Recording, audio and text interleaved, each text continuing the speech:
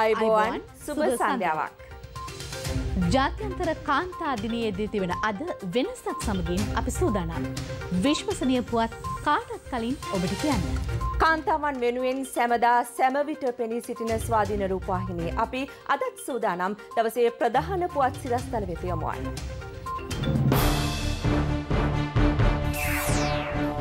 කාන්තාව නිසි තැන තිබ්බොත් රටක් දියුණු වෙන හැටි ජනපති කියයි. එක් දිනක් නොව හැම මොහොතක්ම කාන්තා අයිතීන් වෙනුවෙන් වෙන් කළ යුතුයි. අගමැතිගෙන් උපදෙසක්. බස්නාහිර පාසැල් පහළොස්වෙනිදාටත් අරින්න බැරිවෙන ලකුණු. කොරෝනා එන්නතින් වඳභාවයක් ඇතිවන්නේ නෑ. සෞඛ්‍ය සැකයදුරු කරයි. බ්‍රිතාන්‍ය රජපවුලේ සසික්ස් ආධිපාරිවරියටත් සසර එපාවේ.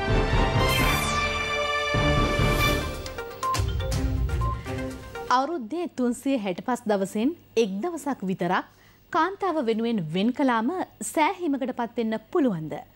කාන්තාවට නිසිතැන නෙමෙයි හිමිතැනවත් අද වෙනකොට ලැබිලා තියෙනවද. ඕනි ශාන්ති. මේක අපි කාටත් තියෙන ප්‍රශ්නයක්. අපේ රටට විතරක් නෙවෙයි සමස්ත ලෝකවාසී කාන්තාවන්ටම තියෙන ප්‍රශ්නයක්. හැබැයි අපට හිමි තැන මොකක්ද කියලා මේ සටහන තියන්නේ පුරුෂයෙක්. අම්මා සහෝදරිය දියණිය මිතුරිය පෙම්මතිය මේ සියල්ලුම චරිතවල ඒක චරිතය කාන්තාවයි. ලෝකය මැවී ජීවය මැවුණු පසුව ලොවට ජීවය ලැබුණේ පිරිමියත් ගැහැණියත් මැවුණු නිසායි. ගැහැණියට පිරිමියාත් පිරිමියාට ගැහැණියත් මොනම විදිහකින්වත් වෙන් කරන්නට බැහැ. එහෙම තියෙද්දී අවුරුද්දට දවස් තුන්සිය හැට පහක් තිබියදීත් කාන්තාවට වෙන්වුණු එක දිනයක් කාන්තා දිනයක් කියලා විශේෂයෙන්ම නම් කරන්න ඕනෙද. අනිත් තුන්සිය හැට හතරම අයිති පිරිමින්ටද. ප්‍රශ්නය සංකීර්ණ වුණත් මොන විදිහකින් හරි ලෝකයා මාර්තු අටවෙනිදා කාන්තා දිනය කියලා නම් කරලා තියෙනවා. හැබැයි කාන්තා දිනේදිවත් හැබැවින්ම කාන්තාවගේ ඇත්ත ප්‍රශ්න කතා කරනවද. තියෙන ප්‍රශ්නවලට විසඳුම් ලැබෙනවද. ලෝකයා අමතක කරලා අපි අපි ගැන හිතුවොත්. සමහරක් පිරිමින්ට සහෝදරිය පෙම්මතිය කාන්තාව මෙවලමක් විතරක්ම වෙලා නැද්ද. ලෝකේ මොන පදවියටත් වැඩිය ඉහළම පදවිය මව්පදවිය. අම්ම කෙනෙක් වෙනවා කියන එක තරම් නම්බුවක් ලෝකේ තවත් තියෙනවද.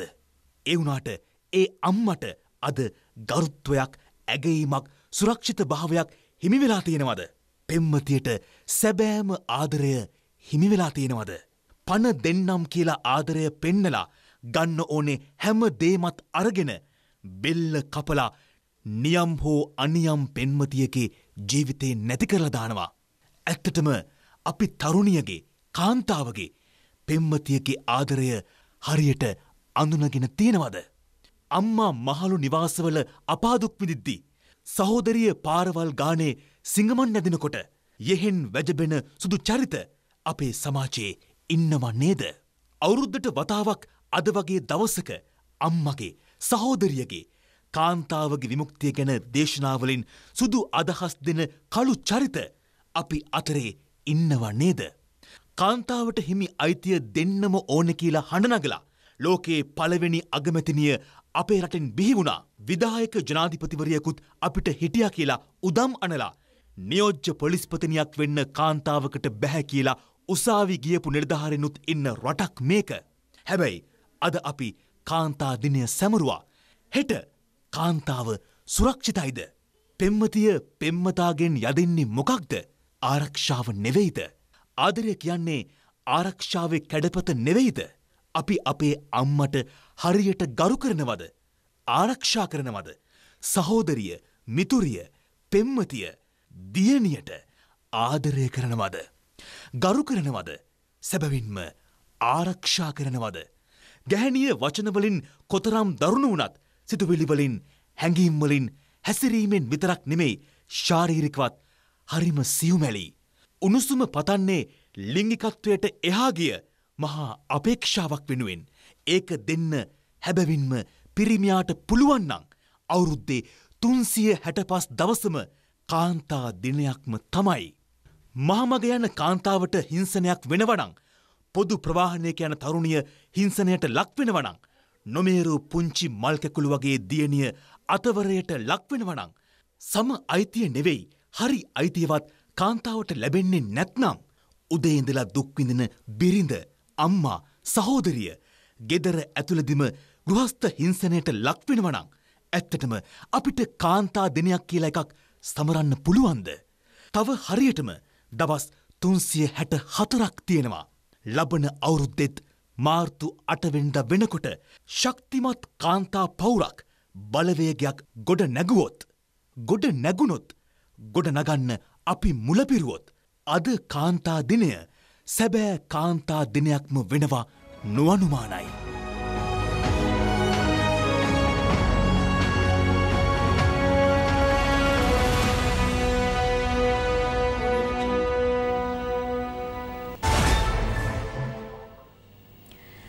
රටකී දැයකී ලොව කියය. මදුනිකා මේ අපේ දිනේ වෙනුවෙන් තියෙන තේමාව. අද කාන්තාදිනය. කාන්තාදිනයේදී කාන්තාව ගැන ගොඩක් දෙනෙක් කතා කරනවා. උත්සවත් තියෙනවා. ඒත් කාන්තාවට හිමිවිය යුතු තැන හිමි වෙලා තියෙනවද.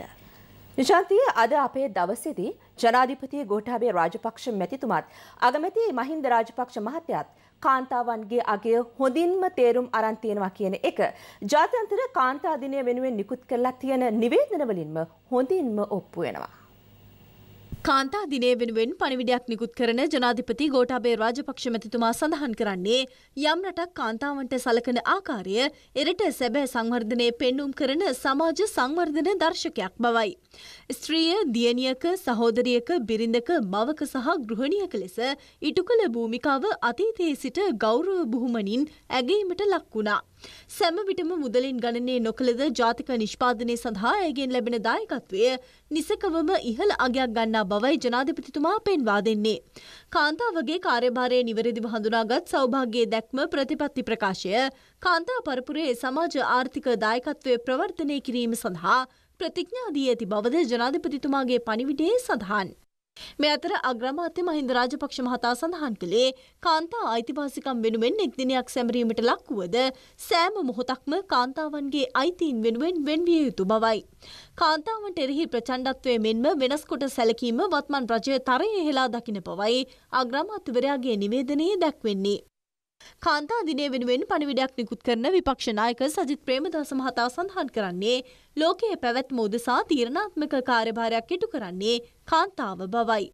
ජාත්‍යන්තර කාන්තාදිනය වෙනුවෙන් ළමහා කාන්තා කටයුතු අමාත්‍යංශය සංවිධාන කළ ප්‍රධාන උත්සවයේ නිදහස් චතුරස්ත්‍ර පරිශ්‍රයේදී පැවැත්වුණේ අග්‍රාමාත්‍ය මහින්ද රාජපක්ෂ මහතාගේ ප්‍රධානත්වයෙන්. රාජ්‍ය අමාත්‍ය පියල් නිශාන්ත මහතාගේ උපදෙස් මත මෙම උත්සවය සංවිධාන කෙරුණේ අම්මාවරුණේ යන තේමාවෙන්. ඒ සඳහා පූර්ණ අනුග්‍රහය ලබා දුන්නේ මහජන බැංකුවයි. වනිතා වසනා ගිනුම සඳහා බ්‍රෑන්ඩ් ඩෙබිට් කාඩ් බදක් හඳුන්වා දීමද මෙහිදී සිදු කෙරුණා.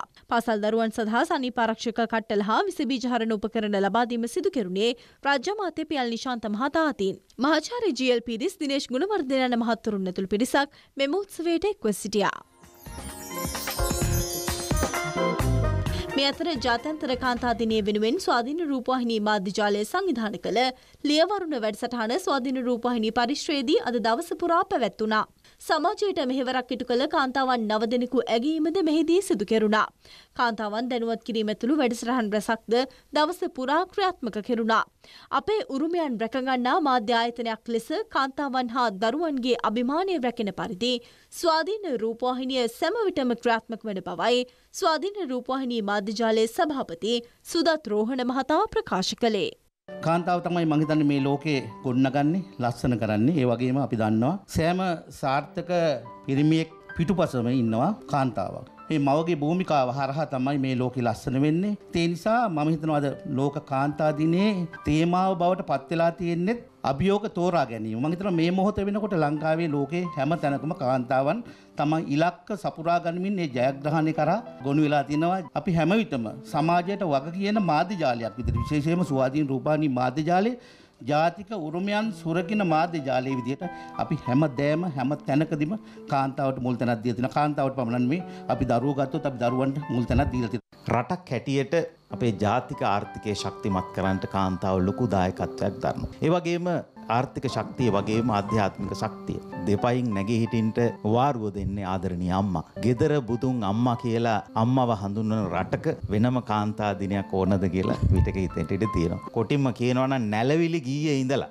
අප සතුව තියෙන ඒ වටිනා උරුමය ආරක්ෂා කරලා දෙන්නේ අම්මලා. විජය කුමාරයා ලංකාවට එනකොට කුවේන හිටියේ කපු කටිමින්. ටිකක් හිතලා බලන්න. නූල් හදලා රෙද්දක් වියලා ඇඳුමක් මහගන්ට දැනගෙන හිටපු ජාතිය. ශිල්ප ශාත්‍ර හොඳින් දැනගෙන හිටපු ජාතියක කාන්තාව. ඒ ජානමය උරුමය තාම කාන්තාව ළඟ තියෙනවා. අදට යෙදුණු ජාත්‍යන්තර කාන්තා දිනය සමරන්න දිවිනේ විවිධ ස්ථානවල වැඩසටහන් රැසක් සංවිධාන කළා තිබුණා. කාන්තා දිනය සමරමින් නිරෝගිමත් කතක් ජවසම්පන්න රටක් තේමාව යටතේ ව්‍යායාම වැඩසටහනක් කොළඹ ටොරින්ටන්හි ක්‍රීඩාමත්‍යංශ ක්‍රීඩාංගනයේදී පැවැත්වුණා. කාන්තා දිනය සැමරීම සඳහා යතුරු පැදියක නැගි කාන්තාවක් කොළඹ සිට මහනුවරට ගමන් කිරීමද අද පෙරවරුවේ ඇරඹුණා. මෙම අවස්ථාවට ශිරන්ති රාජපක්ෂ මහත්මිය හා ලිමිනි රාජපක්ෂ මහත්මියද එක් වුණා. අභියෝග ජයගනිමු බෑන් ශ්‍රී ලංකා නිදහස් පක්ෂ කාන්තා දින සැමරුම පක්ෂ මුලස්ථානයේදී පැවැත්වුණා. ඒ ශ්‍රී ලංකා නිදහස් පක්ෂයේ සභාපති මෛත්‍රීපාල සිරිසේන සහ මහලේකම් දයසිරි ජයසේකර යන මහත්වරුන්ගේ ප්‍රධානත්වයෙන්. ශ්‍රී ලංකා නිදහස් පක්ෂය නියෝජනය කරන නියෝජිතවරයන් ඇතුළු පිරිසක් මෙම අවස්ථාවට එක්ව සිටියා. සමගි ජනපලවේගේ කාන්තාදින වැඩසටහන තලවතුගොඩදී පැවැත්වුණා. ඒ විපක්ෂනායක සජිත් ප්‍රේමදාස මහතාගේ ප්‍රධානත්වයෙන්. පාර්ලිමේන්තු මන්ත්‍රී රෝහිණී කවිරත්න මහත්මිය ඇතුළු පිරිසක් මෙම අවස්ථාවට එක්ව සිටියා. සමගි වනිතා බලවේගයයි ඒ සංවිධාන කර තිබුණේ. එක්සත් ජාතික පක්ෂයේ ලක්වනිතා පෙරමුණ සංවිධාන කළ කාන්තාදින සැමරුම් උත්සවය සිරකොත පක්ෂ මුලස්ථානයේදී පැවැතුනා. මෙම අවස්ථාවට පක්ෂනායක රනිල් වික්‍රමසිංහ මහතා ඇතුළු නියෝජිතයන් සහ නියෝජිතවරියන් රැසක් එක්ව සිටියා. කාන්තාවන් පිටකෝට්ටේ නගරේ විරෝධතා පාගමනක්ද සංවිධාන කර තිබුණා. පොලිස් ළමා හා කාන්තා අපයෝජන නිවාරණ කාරංශය සංවිධාන කළ වැඩසටහනක් බැස්ටියන් මවත පෞද්ගලික බස් නැවතුම් පොලේදී පැවැතුනා. කාන්තා අයිතිවාසිකම් පිළිමිබුවන පරිදි බස්රථ තුළ ස්ටික ඇලවීමට මෙහිදී පියවරගෙන තිබුණා. මෙම අවස්ථාවට පොලිස් අධිකාරී දර්ශකා කුමාරි මහත්මිය ඇතුළු පිරිසක් එක්ව සිටියා. ශ්‍රී ලංකා මානවිමිකම් කොමිෂන් සභාව සංවිධාන කළ කාන්තා අයිතිවාසිකම් සහ ඔවුන් මුහුණ පාතිබෙන අභියෝග පිළිබඳ සම්මන්ත්‍රණයක් කොළඹදී පැවැතුනා. ජාත්‍යන්තර කාන්තාදිනයට සමකාමී ලෙසයි එ සංවිධාන කර තිබුණේ. කොමිසමේ සභහපති ජගත් බාලසූරිය ශ්‍රී ලංකාවේ නෝවේ තානාපති ට්‍රයින් ඉස්කෙඩල් යන මහත්ම මහත්මින් මෙහිදී අදහස් දැක්වා. කොරෝනා ව්‍යසනය හින්දා බොහෝ කාලයක් සියලුම පාසැල්වල දොරටු වසා තැබුණා. බස්නාහිර නැතිව සියලුම පළාත්වල පාසැල් දොරටු ඇරුණත් බස්නාහිර පාසැල් විවෘත කිරීම ගැන තවමත් ස්ථිර තීරණයක් අරන්න හැ. සෞඛ්‍ය මාර්ගෝපදේශ ලැබුණට පස්සේ ඉදිරි දින දෙක තුළ බස්නාහිර පාසැල් ආරම්භ කරන දිනය ගැන නිශ්චිතවම තීන්දුවක් ගන්නවා කියලා අධ්‍යාපන ඇමති මහාචාර්ය ජීල් පීරිස් මහත්මයා කියනවා. කොළඹ ගම්පහ කළුතර දිස්ත්‍රික්කවල පාසල් විවෘත කිරීමට අපි සූදානම්. ඒ අවශ්‍ය වැඩ කටයුතු අපි සකස් කරලා තිබෙනවා. හැබැයි අවසාන තීරණය සම්බන්ධයෙන් ගන්නේ සෞඛ්‍ය ක්ෂේත්‍රයේ නිලධාරී. සෞඛ්‍ය අධ්‍යක්ෂ ජනරාල්තුමාගේ අනුමැතිය අපි ඉල්ලා තිබෙනවා. දවස් දෙකක් ඇතුළත එතුමාගේ අවසාන තීරණය අපි බලාපොරොත්තු වෙනවා. ඒ අනුව බස්නාහිර පළාතෙත් අපිට ඒ අනුමැතිය ලැබුණොත් එන සඳුදා දිවයිනේ සෙසු ප්‍රදේශවල වගේම බස්නාහිර පළාතේ පාසල් ආරම්භ කිරීමට පුළුවන් වනවා. අධ්‍යන පොදු සහතික පත්‍ර සාමාන්‍ය පෙළ විභාගය ලබන දහවනිතා අවසන් වනවා. විභාග අවසන්වීමෙන් පසු සමකාමීව විසිර යන ලෙසයි විභාග දෙපාර්තමේන්තුව සිසුන්ගෙන් ඉල්ලා සිටින්නේ. එම උපදෙස් කඩ කළහොත් නීතිය දැඩිව ක්‍රියාත්ම කිරීමට පොලිස් තානාධිපතිවරුන් දැනුවත් කර තිබෙනවා. මේ සම්බන්ධයෙන් යම් පැමිණිලක් පවති නම් වහාම දැනුම් දෙන ලෙසයි විභාග දෙපාර්තමේන්තුව ඉල්ලා සිටින්නේ. මෙතර අද පැවැති ශ්‍රී ලංකා පොදු ජන පෙරමුණු මාධ්‍ය හමුවේදී අමාත්‍ය මහාචාර්ය ජීල් පිරිස් මහතාද සාමාන්‍ය පෙළ විභාගය පිළිබඳ අදහස් පළ කළා. අධ්‍යාපන පොදු සාතික සාමාන්‍ය පෙළ විභාගය ඉතාමත් සාර්ථකව පැවැත්වීමට පුළුවන් වුණා. මේ පිළිබඳ ඍණාත්මක අසුභවාදී අදහස් ප්‍රකාශ කරන අයට අපි සවන් දුන්නා නම් මේ විභාගය පැවැත්වෙන්නේ නැහැ. උසස් පෙළ විභාගය පැවැත්වෙන්නේ නැහැ. පස්වන ශ්‍රේණියේ ශිෂ්‍යත්ව විභාගය පැවැත්වෙන්නේ නැහැ. ඒක නෙවෙයි අපේ රටේ ජනතාව අපේ රජයෙන් බලාපොරොත්තු වන්නේ. ජූනි මාසයේ ප්‍රතිඵල නිකුත් කළා ජූලි මාසයේ උසස් පෙළ පන්ති ආරම්භ කිරීමට අපි බලාපොරොත්තු වෙනවා. ඇස්ට්‍රා සෙනකා එන්නත ලබා ගැනීමෙන් වඳභාවය ඇතිවෙනවා කියලා පැතිර යන ප්‍රචාර සම්පූර්ණයෙන්ම අසත්‍ය බව සෞඛ්‍යංශ අදාවධාරණය කරනවා. ඕනි ශාන්ති. ඊයේ දිනේදී කොරෝනා ආසාදිතයන් 359 දෙනෙකු හඳුනා ගනිද්දී ඉන් වැඩිම පිරිසක් වාර්තා වුණේ ගම්පහ දිස්ත්‍රික්කයෙන්. අද දිනේත් ආසාදිතයන් 157 දෙනෙකු මීට ටික වේලාවකට පෙර වාර්තා වුණා.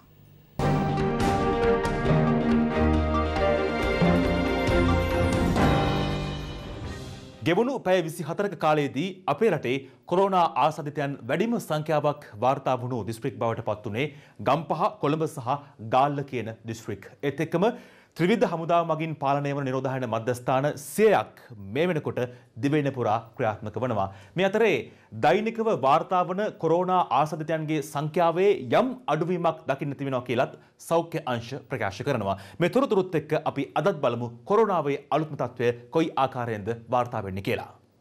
මෙරටින් වාර්තාවන COොVID-19 ආසාධනය වී ඇති සමස්ත සංඛ්‍යාව සූපන්දහස් හයිසිය අනූ පහක්. තුන්දහස් එකසේ තිස් හතර දෙනෙකු රෝහල්වල සහ අතරමැදි ප්‍රතිකාර මධ්‍යස්ථානවල ප්‍රතිකාර ලබනවා. පූර්ණ සොය ලැබූ සංඛ්‍යාව අසූ දෙදහස් පනස් නවයක්. COොVID-19 වසංගත තත්ත්වය පාලනය කිරීම සඳහා සමාජ දුරස්ථ භවය ආරක්ෂා කර ගැනීම අරමුණු කරගනිමින් රාජ්‍ය සහ පෞද්ගලික අංශ සේවකීන් නිවසේ සිට රාජකාරී සිදු කරන කාලය අදින් අවසන් වුණා. ඒ අනුව සියලුම රාජ්‍ය සේවකින් සේවාස්ථානවලට වාර්තා කරන ආකාරය දැකගත හැකි වුණා. COොVID-19 ප්‍රතිශක්තිකරන වැඩසටහන යටතේ අද දිනේ එන්නත් ලබාදීම සිදු කෙරුණා. කොළඹ මහනගර සභා බල ප්‍රදේශය තුළ සිටින ආබාධ සහිත හා ජේෂ්ඨ පුරවැසියන් වෙනුවෙන් එන්නත ලබාදීම කිරුළපනදී සිදු කෙරුණා. ඒ අනුව මේ වන විට එන්නත් ලබාදී ඇති සමස්ත සංඛ්‍යාව හත්ලක්ෂ විසි නවදහස් පන්සී හැට දෙකක්.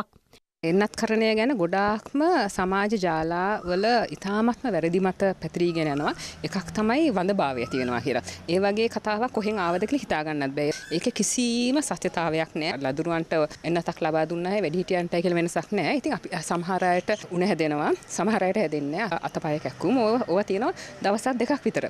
ඉතින් සමහර අයට කිසිම දෙයක් නෑ. ඉතින් ඒ පාර අතුරු ආබාධ නැති අයත් බය වෙනවා. එයි මට අතුරු ආබාධයක් ඇති උනේ නැත්තේ කියලා. ඒක කිසිම ගැටලුවක් නෙවෙයි. ඒ එන්නතේ ක්‍රියාකාරීත්වයට බලපාන්නේ නෑ. එන්නත ගහලා දවස් දෙකකට වඩා උණ තියෙනවා නම් වෛද්‍ය ප්‍රතිකාර ගැනීම අත්‍යවශ්‍යයි. වයිසවුරුදු තිහට අඩු තරුණ ප්‍රජාව වෙනුවෙන් රුසියාවේ නිෂ්පාදිත ස්පුට්නික් එන්නත ලබාදීම සඳහා සැලසුම් සකස් කරන බව රාජ්‍යමාතය සුදර්ශනී ප්‍රනාධපුල්ලේ මහත්මිය පවසනවා.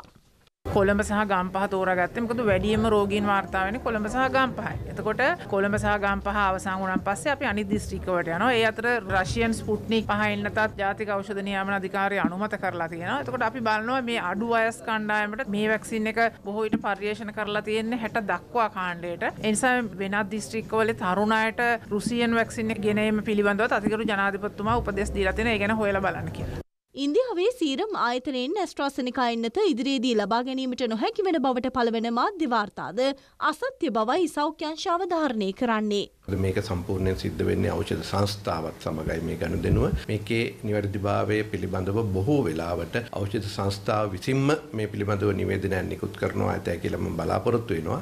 ඒ සඳහා විකල්ප වැඩසටහන් ගොඩක් තියෙනවා. අපිට දැන්ට ලැබිලා තියෙන එන්නත්වල යම් ප්‍රමාණයක් අපිට මේ සඳහා කොහොමත් අපිට තාම දීලා ඉවර නෑ. මේ වෙනකොටත් අපිට ලැබිලා තියෙන එන්නත් වලින් ලක්ෂ 7කට පොඩ්ඩක් ඉක්මවලා තමයි අපි භාවිතා කරලා තියෙන්නේ. ඉතිරි එන්නත් ප්‍රමාණය සම්පූර්ණයෙන්ම අපි ළඟ තියෙනවා. ඊට අමතරව අපිට මේ එන්නත දෙවෙනි මාත්‍රාව ලබා දෙන්න තියෙන්නේ අප්‍රේල් මාසයේදී. ඒ කාලය වන විට අපිට මේ එන්නත් ලබා ගැනීම තව කාලයක් තියෙනවා.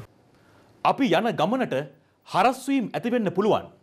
ඒවට අපි මුහුණ දෙන්න ඕනේ වෙනස්වීම් එක්ක. එතකොට අපිට පුළුවන් අභියෝගයට ගැලපෙන විදිහට සකස්වීමට අපේ රට මේ යන්නේ අන්න ඒ වගේ ගමනක්.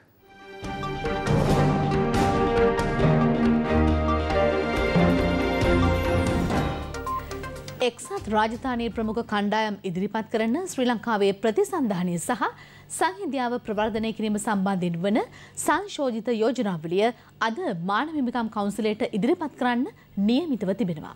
ඕනි ශාන්ති. මානව හිමිකම් මහකොමසාරිස්වරිය කලින් ඉදිරිපත් කරපු චෝදනා ආය සංශෝධනය කරලා තමයි අද ඉදිරිපත් කරන්න සූදානම් වෙලා ඉන්නේ. හතලිස් හයවන මානව හිමිකම් සැසිවාරය ආරම්භූයේ පසුගිය විසිද්ධ වනදායි. ශ්‍රී ලංකාවේ මානව හිමිකම් සම්බන්ධයෙන් වන මහකොමසාරිස්වරියගේ වාර්තාව කවන්සිලට ඉදිරිපත් කිරීමෙන් අනතුරුව මාති දිනේශ් ගුණවර්ධන මහතා ඊට පිළිතුරු ඉදිරිපත් කළා. මීට පෙර බ්‍රතාානය ප්‍රමුඛ රටවල් කිහිපයක් ඉදිරිපත් කළ ශ්‍රී ලංකාවේ මානව හිමිකම් සම්බන්ධයෙන් වන යෝජනාවලියේ සංශෝධිත යෝජනාවකුයි අද කවන්සිලට ඉදිරිපත් කෙරෙන්නේ. කාන්තා එල්ටීටිකට නායකත්වය දුන්නේ කවුද? ඇඩලා බාලසිංහ. එතුමිය ලන්ඩන් වල යහතින් ඉන්නවා. එතුමියගේ කරේ සයිනයිට් කරලක් පවා දාගෙන තමයි සටන් බිමේ හිටියේ.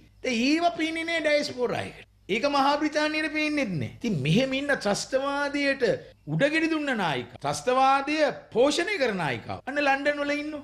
කවුරුත් කතා කරන්නේ ඒ ගැන. ඔවුන් භූමිරති ආසාව තාම අතහැරලා නැහැ. අන්න ඒක නිසා තමයි මානව හිමිකම් කවුන්සිලය හරහා විශාල බෙදීමක් ඇති කළා යුද අපරාධ කරයි කියලා ලෝකේ හොඳ හිත දිනා ගන්න තමයි ඒ අය මේ වැඩ කටයුතු කර. ඒ නිසා තමයි චීනය රුසියාව හැම වෙලාවෙම ලංකාව වෙනුවෙන් නැගිසි. තානාපති කාර්යාල එක හඬක් ගෙනියන්න ඕනේ මෙතන. ඩයස්පෝරාව ගෙනියන හඬට වඩා ප්‍රබල හඬක් අපිට පුළුවන්. මොකද තානාපති සම්බන්ධතා තියෙනවා. තානාපති වරප්‍රසාද තියෙනවා. ව්‍යානා සම්මුතියෙන් ඒගොල්ලෝ රැකිලා තියෙනවා. අන්න ඒ නිසා මෙයට වඩා වැඩියමක් අපි කරේ නැත්තම් මානවිකම් කවුන්සිලේ සැසිවාර ප්‍රධාන සැසිය නෙමෙයි තවත් සැසිවාර කීපයක් දැන් පැවැත්වෙනවා අපිත් කතා කරනවට අන්න ඒවයිදි ලොකු හඬක් නගන්න. එම හඬක් නැගුවේ නැත්තම් අනිවාර්යෙන්ම මේක විස්සයි තිහ වෙනකම් මේ යෝජනාවගෙන. මේ අතර මානව හිමිකම් කවන්සිලේදී රට වෙනුවෙන් කළ හැකි උපරිමදේ රජයක් ලෙස ඉටු කරන බව යුද හමුදාපති ජනරාල් ශවේන්ද්‍ර සිල්වා මහතා ප්‍රකාශ කළා. හමුදාවේ රාජකාරි කරන අපි අක්‍රිය සේවය යෙදී සිටින අපි අපිට මේ වතාවේදී විශේෂයෙන්ම ජිනීවා මානව කොමිසම් සභාව එම කවුන්සිලේ පවත්වන මේ දිනවල ශ්‍රී ලංකාවේ රජය විසින් කරනු ලබන ක්‍රියාවලිය සම්බන්ධයෙන් අපිට සන්තෝෂ වෙන්න පුළුවන්. ශාල හඬක් නගනවා සමහර රටවල්. මේ සම්බන්ධයෙන් අපි තමයි දන්නේ අපි මොනතරම් මානුෂීය විදියටද මෙම ක්‍රියාන්විතය කරේ කියලා. අපිට නැත්තම් 2009 මැහිදාට කලින් වුණත් අපිට යුද්ධ ඉවර කරන්න අවස්ථාවක් තිබ්බා. අපි එසේ නොවුණා නම් ඉතින් ප්‍රාණාපකරුවන් වශයෙන් රඳවාගෙන තිබෙන අවස්ථාවකද තමයි අපි තාමත්ම ඕනකමින් ඔවුන්ගේ ජීවිත හානි අවම වෙන ආකාරයෙන් අපි කටයුතු කරනු ලැබුවේ. ශ්‍රී ලංකාව සම්බන්ධයෙන් ඉදිරිපත් කරන යෝජනාවට අදාළ ඡන්ද විමසීම ලබන සතියේ පැවැත්වීමට නියමිතයි. අද ක්‍රීඩාපුවත් තුළින් ඔබට කියන්නේ තුම්පෙම ඉසව්වේ ශ්‍රී ලංකා වාර්තාවට හිමිකම් කියන ශේෂාන් දනංජය පිළිබඳව.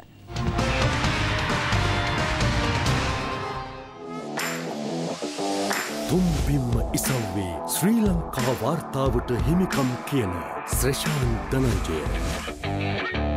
මගේ නම ශ්‍රේෂාන් දනංජය මං ඉස්කෝලගේ වෙන්නපු ජෝස්වා සිද්ධාලයට මගේ වෙන්ටක තුම්පින්න විශේෂෙන්ම මගේ අම්මයි තාත්තයි මතක්කන්න වන්න ඔවන් දෙන්න මට ගොඩක් උදව් කරනවා. මගේ ක්‍රීඩා කටයුතු කරගෙන යමට මම ස්කෝල්ල බස්සගේ එද්දි තාත්ත රෑයනකම් බලගන්න පාට වෙලා.